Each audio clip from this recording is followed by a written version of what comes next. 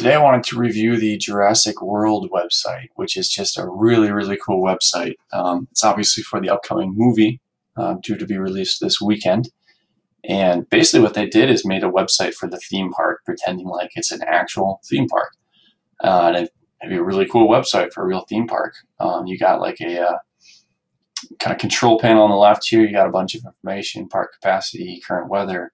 Um, they have a countdown timer supposedly when their new um, attraction is going to be released, which is kind of the main plot of the movie. But obviously, in reality, this is for the movie coming out. Um, you can buy tickets, and it will actually bring you to where, um,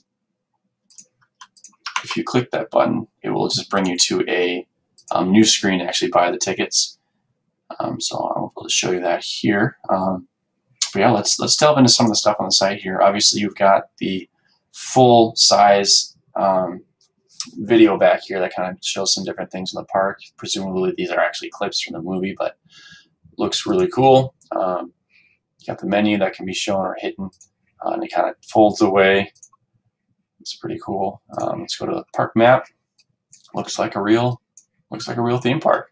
Um, they've got the full map here. You can go to different, um, different things they have here. They even have sponsors. Um, this is probably just a really real ad, but still kind of cool that it's there, I guess. Um, you can just learn about different things that are in there.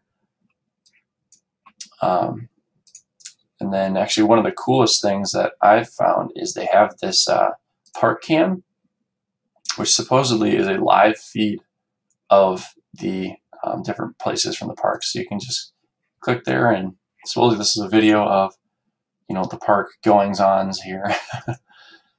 can look around at different things. It looks like a real feed. These obviously do loop eventually, but you gotta watch a while and it's pretty cool either way. And one thing that I thought was kind of fun, um, so there's some continuity between some of these. So they paid a lot of attention to details. So like for example, um, you see you got like a janitor or something here, um, kind of mopping up outside. When you go to um, one of the further ones, I think it's the restaurant. Yep, you can actually see that same kind of maintenance worker back here mopping up. So it actually will stay consistent between all of them, which is really awesome. Um, so that's just that's just one cool feature. You can go to dinosaurs. You can see all the different attractions they've got. Um, learn more about each one. Obviously, it's a really cool, it's kind of attractive page. Um, and this is responsive, so it'll adjust all screen sizes, including mobile, um, as well as bigger screens and it'll just look great on all of those. And you got a cool size chart here that will show how all the different dinosaurs they have there um, kind of match up. Some of this almost doesn't seem quite accurate, but maybe it is. like if that guy's 60 feet long, you'd think he'd be a lot bigger than this 35 foot dinosaur, but apparently not. Um, yeah, look really cool there. Again, you can click on each one. Um, it kind of keeps you going. You know, good user interface. You get the information you want. You can view it as you go down, and then of course at the end you probably want to see another dinosaur. So there it is again. Um, and Indominus Rex, I believe, is the one from the movie. They're kind of keeping it secret. They don't want to show exactly what he looks like yet, because that's kind of the allure of the movie. Um, aggression index is very high, so he's very, very aggressive, evidently. And so they just showed the enclosure here without actually showing what he looks like. Anyway, so you can go through all the dinosaurs there. Um, they've got a news feed, so they can um, show a bunch of stuff in here. I don't know how many of these are like 100% real or not. That's kind of part of the fun. Um, they've got a merch shop. They got an online store here.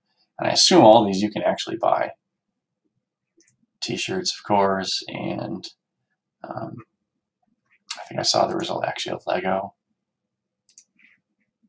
Oh, I don't know why that's not working now, but pretty sure there actually is a a Lego set that is based on based on this. So anyway, that's cool too. Um, Creation Lab, you can they kind of show you how where everything came from how they were managed managed to pull all this off. Um, so there's lots of cool stuff. And then another fun thing too is if you click this Masrani, you'll actually go to the corporate website of a fake company that supposedly runs this park and did all the building and all the engineering and stuff on the dinosaurs. And it's really elaborate. Um, there's like a blog in there where they're like tracking the progress of everything. Um, and it looks like an actual full corporate website. So I'd recommend checking that out too. Um, but yeah, I mean, I just recommend checking out the site as a whole because it just looks, it's really cool looking. Um, that's kind of fun there. You see this one actually moves forward as you, don't even know how they did that. um, just a really cool website to check out. So definitely recommend taking a look at it and hopefully seeing the movie this weekend. Hopefully it will be uh, pretty good. I know I'm excited about that.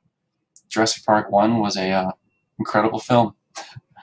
So I'm hoping this will be the uh, third greatest dinosaur movie behind Jurassic Park 1 and, of course, Land Before Time. But that uh, remains to be seen.